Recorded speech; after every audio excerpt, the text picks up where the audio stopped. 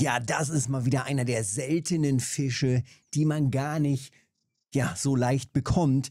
Aber hier soll es gerade wieder laufen. Eine Stelle, die eigentlich auch zu den klassischen Spots an der Sura gehört.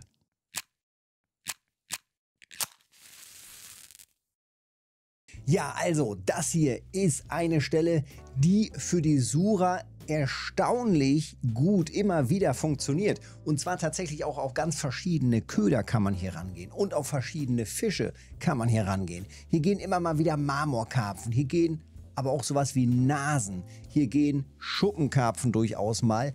Und auch Silberkarpfen. Gerade eben. Und Giebel. Verdammten Giebel. Wo läuft Giebel eigentlich nicht? wenn der olle Giebel gerade im Wasser ist.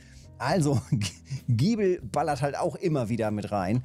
Ja, aber eben, wie gesagt, auch Silberkarpfen. Mit der ganz klassischen Kombination und der Futtermische für den Silberkarpfen, die man eigentlich immer verwendet und die auch immer wieder hier an der Sucher funktioniert.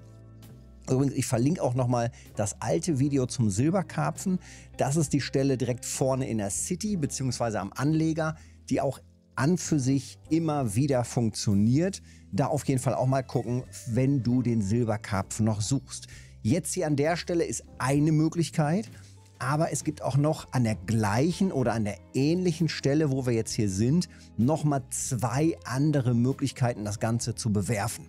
Das ist jetzt hier der erste Test und ich zeige jetzt gleich auch nochmal zwei weitere Stellen, wenn wir schon mal hier an dieser Position sind. Es ist ein bisschen weiter unten. Wir sehen hier drüben, das hier ist die Insel. Die Insel an der Sura. Genau, die zieht sich hier einmal lang. Das heißt, auf der Map, wir sind hier unten in der Area. Also hier an oder hier ist diese Schilfkante. Und äh, es gibt eben hier verschiedene Möglichkeiten ranzugehen.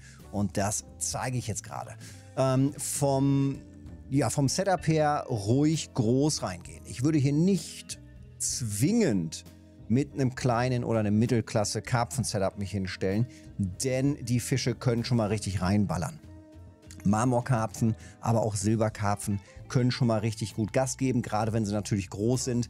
Ähm, wenn das jetzt hier so bleibt und es gehen so die mittelprächtigen rein, ist es ganz nett. Dann nimmt man natürlich mal hier so einen Silberkarpfen einfach mit. Und das ist auch so gar nicht verkehrt, ist ja ein ganz schicker Fisch. Ganz nice gemacht, das Ding. Also den nehmen wir natürlich gerne mit. Ähm, aber wie gesagt, wenn da große Brocken reingehen, wird das Ganze schon tricky. Ja, die andere Position zeige ich jetzt gleich am besten direkt nochmal, bevor es hier gleich dunkel wird. Ähm, ich glaube, ich baue gleich einfach nochmal um.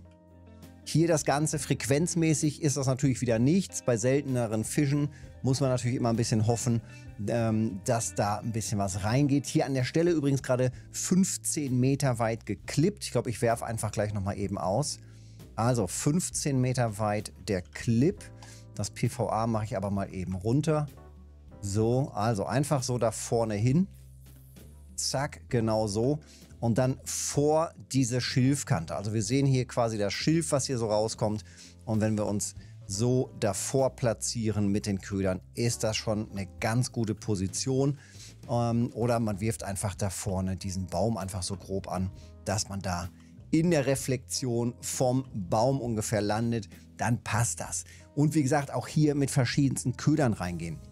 Wenn dein Setup noch nicht so ganz groß ist, muss man hier auch nicht mit Boilies reingehen. Du kannst ja auch mit dem Tauwurm dich hinstellen, mit der Kartoffel, mit dem Kohlblatt, mit der Alge. Also ganz verschiedene Köder, die man hier testen kann und die eben auch hier an der Stelle immer wieder liefern. Wie gesagt, nicht immer nur die Silberkarpfen. Die Stelle funktioniert immer wieder, immer wieder, auch Wochen später vielleicht noch immer mal wieder mit anderen Fischen. Wenn man an Asura ist, auf jeden Fall immer mal wieder auch hier diesen Spot testen. Ja, die andere Möglichkeit ist dann, die gleiche Stelle von der anderen Seite anzuwerfen. Tatsächlich, also auch das wird immer mal wieder gemacht. Hier würde ich sagen, vielleicht jetzt eher so auf ungefähr 20 Meter dann da vorne hingeworfen. Also auch das funktioniert. Ich gehe mal hier ein bisschen weiter raus auf 20 Meter und auch dann hier an die Spitze. So. Und wenn wir dann hier sind, können wir auch quasi direkt die dritte Möglichkeit auch noch zeigen. Und die werde ich gleich auch noch mal ein bisschen länger testen. Denn auch das ist eine Möglichkeit, die dann speziell vielleicht eher für Marmorkarpfen und Silberkarpfen noch mal ein bisschen besser funktioniert und weniger Beifänger hat. Also, das jetzt hier ist erstmal deine Entscheidung. Wirfst du quasi von oben runter die 15 Meter da vorne hin oder von hier aus an die Spitze. Da wirft man dann quasi hier in die Reflexion von dem großen Baum oder so knapp daneben. Dann ist man da auch schon ganz gut. Hier ungefähr jetzt, wo das Auge ist, in die Area. Da passt das schon ganz gut. Also da vorne hin auf 20 Meter. Ja, die andere Möglichkeit ist dann von hier aus, und das werde ich gleich noch ein bisschen länger testen, vielleicht auch bis in die Abendstunden rein und dann gleich mal gucken, ob da noch was geht. Das ist dann von hier aus da vorne zur Spitze sozusagen. Also man wirft hier oder diesen, diesen kleinen Busch, da wirft man dann hin. Ist auch quasi schon eine altbekannte Position. Jetzt gucke ich gerade nochmal auf der Map. War das richtig? Ja, das passt so ungefähr. Genau. Oder man kann das, glaube ich, auch. Guck, da ist schon der erste Biss. Sehr gut. Von hier aus war das, glaube ich, genau. Man will ungefähr hier so in dieser Area landen. Ne, wir, wir können es auch versuchen, dass man sich dann vielleicht hier hinstellt. Passt das vielleicht eher? Ja, passt auch. Also hier so und dann so auf circa 21 bis 25 Meter. 25 Meter hat man schon fast die Kante erreicht, wobei ja, doch, könnte passen. 25 Meter ungefähr. Ähm, das sollte passen. Hier dann hin. Das machen wir auch gleich noch. Jawohl, hier bimmelt es auch schon direkt los. Die Stelle war ja auch schon angefüttert, so soll das sein. Und dementsprechend geht es eben hier auch direkt los. Marmor, Marmorkarpfen, ja. Die beiden häufig zusammen, weil eben die Köder in beiden Fällen ganz gut passen. Ja, wir gucken uns die Köder direkt mal eben an. Und ich stelle mich dann hier jetzt schon mal an die Stelle, denn das ist ja jetzt hier quasi dann nochmal die nächste Position.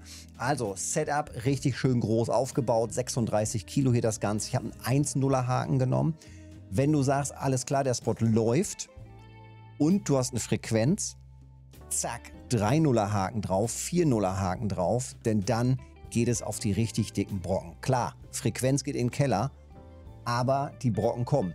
Wichtig auch da, ja, es gibt größere Boilie-Kombinationen, aber wie auch in dem ersten Video, was ich schon verlinkt habe, ähm, auch da klappt das selbst für die Trophy mit dieser kleinen Boilie-Kombination besser als mit den großen Boilies. Warum auch immer, die Fische reagieren hervorragend auf diese kleinen Boilies. Von daher reingehen mit den kleinen Boilies. 36 Kilo das gesamte Setup, das passt soweit. Gerne ein Blei verwenden, was ein bisschen bessere Haftung hat am Untergrund. Die Sura hat eine ziemlich harte Strömung. Ähm, ja, so ist das Setup. PVA gucken wir uns natürlich auch jetzt gleich noch an. Ähm, da haben wir das Ganze hier mit Silber, Silber, Silberkarpfen. Sura, hier ist es. Genau, ich bleibe mal auf den 25 Meter und werfe jetzt da vorne diesen kleinen Busch an. Passt das? Ja, passt ziemlich genau. So, kurz nochmal zumachen. Und dann trage ich jetzt hier. Und da ist sogar noch was dran. Na, hat sich gerade den Köder noch angeguckt. Und darf sofort mit raus. Natürlich wieder ein Giebel. Gibt's was Schöneres als Giebel? Wenn selbst die Giebel-Trophy auf Gras und Frühlingskräuter beißt, also dann weiß ich aber auch nicht, was mit dem Giebel los ist, oder? Giebel ohne Ende. So, Silberkarpfen. Silberkarpfen an der Sura. Ist das gleich hier? Ja, das ist auch noch alles gleich. Genau. So, dann raus damit hier. Auch für den Anfang erstmal nur die 1-0er Haken. 25 Meter weit raus jetzt hier an der Stelle. Die Stelle ist jetzt wie gesagt noch nicht angefüttert. Man sieht aber trotzdem schon, dass die, die Schnur und alles, die Strömung ist halt so heftig, das treibt so schnell rüber. Und das heißt, wir landen relativ schnell auch hier oben in dieser Ecke. Und äh, das ist eigentlich ganz gut. Da können wir dann schön landen. Ach, da ist auch was drauf. Und dann sind wir da in unserer gut angefütterten Nische unten. Na guck, viele Giebel hier, schnell weg. Vielleicht haben wir hier weniger Beifänge, das wäre doch ganz praktisch. Also hier wieder raus, 25 Meter zack, locker ausgeworfen. Wir kommen da, glaube ich, ganz gut rein. In die Rinne. Man sieht das auch immer, wie steil die Schnur halt so nach unten geht. Ja, und dann heißt es jetzt eben hier an der Stelle weiter durchziehen und hoffen und gucken, was passiert. Eine oder zwei weitere Möglichkeiten. Wie gesagt, die beste Möglichkeit würde ich sagen, nach wie vor der Spot, ähm, den ich gerade am Anfang schon verlinkt hatte. Also das ist auch die Stelle, wo ich meine Trophy gezogen habe. Da ging allerdings auch zuletzt immer mal wieder vermehrt die Marmorkarpfen. Also Fokus Marmorkarpfen. Aber wie gesagt, wenn man hier mit der Futtermische und mit den Ködern das richtig zusammenstellt, dann sollte man eben auch ganz erfolgreich mit Silberkarpfen sein. Futtermische wie folgt: Leinsamen als Basis. Dann haben wir Crushed Boilie Frühlingskräuter. Magischer Hanf, der gibt den Kick. Das ist richtig gut. Und dann haben wir hier Graskuchen, Graskuchen und frisch gemähter Rasen. Also Gras, Gras, Gras, Gras, komplett ein bisschen äh, Magic Weed und dann Frühlingskräuter, Crushed Boilie, nur die kleinen reichen völlig und raus damit. Ja, so sieht das aus. Ordentlich Futtermische jetzt rein. Ich werde jetzt erstmal gucken, was jetzt hier an der Stelle geht. Noch ein bisschen weiter rumprobieren und testen. Und äh, sollte jetzt hier zu wenig passieren, gehe ich einfach wieder zurück da vorne an den ersten Spot. Ist ja alles in Laufreichweite. So viel dazu. Ab an die Sura. Wenn dir der Silberkarpfen noch fehlt, rausziehen das Ding. Toi, toi, toi, dass für dich dann die Trophy reingeht. Irgendwann wird sie schon reinballern. Wenn es dir geholfen hat, Daumen da lassen, Kanal abonnieren nicht vergessen, das hilft mir mega. Und dann sehen wir uns im nächsten Video oder im Livestream montags, mittwochs und freitags immer ab 19 Uhr. Petri.